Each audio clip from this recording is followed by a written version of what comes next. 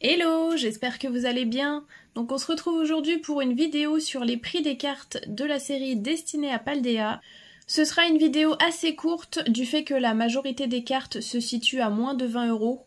Donc j'ai sélectionné quelques cartes qui coûtent au-dessus. Et donc si ce classement vous intéresse, c'est parti On va commencer en top 4 par la carte Mew 216 en Shiny. Donc avant la sortie officielle, on peut voir que quelqu'un l'a acheté à 90 euros, du grand FOMO par excellence. Ensuite, on peut voir que la carte a progressivement perdu en valeur, vers les 40 euros, puis maintenant à 11-12 euros. Donc un conseil, attendez les sorties officielles avant de vous lancer dans l'achat de cartes à l'unité. Ensuite, en top 3, nous avons la carte Gardevoir 233. Une carte que je trouve vraiment sympa, franchement elle est vraiment belle. C'est une carte qui a eu une vente à 180 euros au maximum dès la sortie. Puis le prix a tourné autour des 100 euros. On peut voir que quelqu'un a fait un achat à 49 euros. Bien joué à lui. Mais voilà, si vous en trouvez à 90 euros, franchement c'est un bon prix. On va passer au top 2 de ce classement avec la Mio 232. Bon, honnêtement, je ne trouve pas que ce soit une carte intéressante. Au niveau du dessin, je trouve que ça fait un peu carte pour enfants. Donc voilà, je trouve pas ça terrible.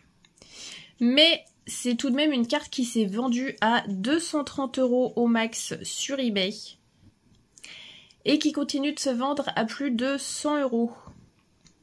Donc la dernière s'est vendue à 142 euros, comme vous pouvez le voir. À mon sens, c'est plus une carte qui se vend à ce prix-là par sa rareté et surtout pour les gens qui veulent faire un Master Set. On va terminer ce classement par le Dracofeu 234.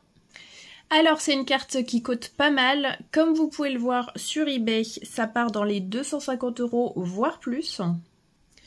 Après sur Vinted, j'en ai vu pas mal en dessous des 250 euros, donc je pense que le prix va baisser vers les 200-220 euros puis peut-être remonter. En tout cas, ce Dracofeu, je le trouve pas mal du tout, les couleurs sont bien. Par contre, sa couronne, euh, j'ai un vrai problème avec, je l'aime pas du tout. Si vous avez réussi à l'avoir, eh bien bravo à vous, comme les cartes précédentes de ce classement d'ailleurs. Et eh bien voilà, c'est terminé pour ce classement. Dites-moi si vous trouvez que les prix des cartes sont justifiés et à quel prix vous seriez prêt à acheter ces cartes à l'unité. Donc c'est tout pour cette vidéo, merci d'avoir regardé. Si elle vous a plu, n'hésitez pas à vous abonner ou à la liker. Et sur ce, moi je vous dis à la prochaine. Bye